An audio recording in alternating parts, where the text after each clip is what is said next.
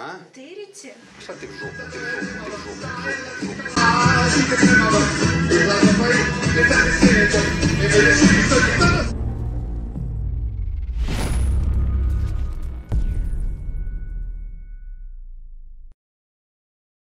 Всем привет! Очень интересное приложение, которое платит за то, что мы создаем и смотрим мемы и видео и получаем за это деньги.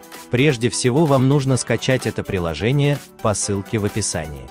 А также есть обучающее видео. Просто заливаете видосики сюда, они набирают просмотры и вам капают монеты. А также за каждого приглашенного вашего друга, который пройдет регистрацию по вашей реферальной ссылке, вы будете получать 30 центов. Эстрадный российский певец Филипп Киркоров в рамках своего тура провел в Астане концерт 5 ноября. Выступление состоялось в ЦКЗ «Казахстан». В одном из номеров Киркоров предстал в колготках перед зрителями.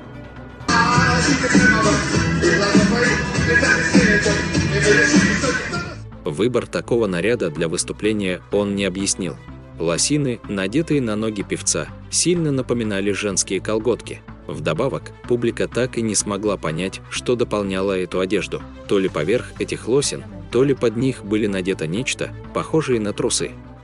В таком виде сильно похудевший артист станцевал на сцене.